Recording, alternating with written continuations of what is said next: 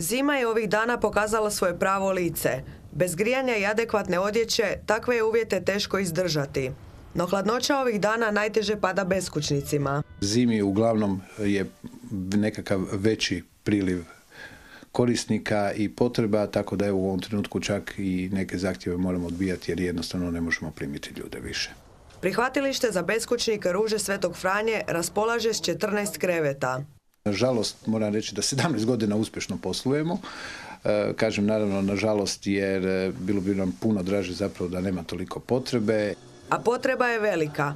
Kuća utočišta spas je za one koji imaju kakav takav krov nad glavom.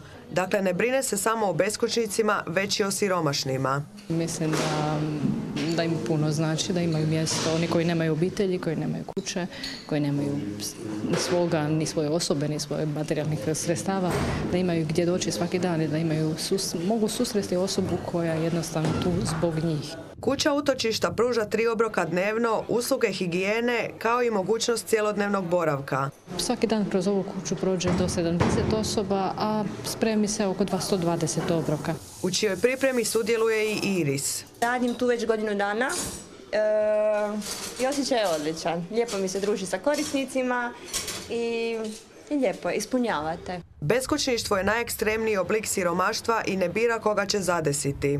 Mi smo ovdje imali ljude koji su dakle e, bili uspješni poduzetnici, imali firme sa koje su odlično radili, imali smo menadžere u uspješnim hrvatskim firmama koji su i tekako dobro ovaj, imali dobre plaće i onda su se spletom razno raznih životnih okolnosti našli u situaciji da su ovdje završili kod nas kao beskućnici. Jednostavnog odgovora nema, a svaka je priča različita. Ljudi najčešće e, vole kazati, a oni su si sami krivi za to što im se dogodilo. Pa djelomice je to istina, ali e, tu je vrlo složeno, vrlo komplicirano i nije to tako jednostavno kako ljudi vole misliti. Ako nekome ne možete pomoći ili ne želite pomoći, ovaj, nemojte im odmagati. Nemojte okretati glavu od njih i praviti se da ne postoje. E, ako želite pomoći, uvijek možete pitati konkretno kako ti mogu pomoći. Bilo kupovinom hrane ili tople odjeće, pogotovo sada u zimskom periodu. Pa naši sugrađani već puno čine. Znači, mi imamo svakoga dana ovdje netko volontira. Volontira na različitim pozicijama, da li je to naše skladište, da li je to naše dijeljenje hrane ili u vanjskom radu, svejedno.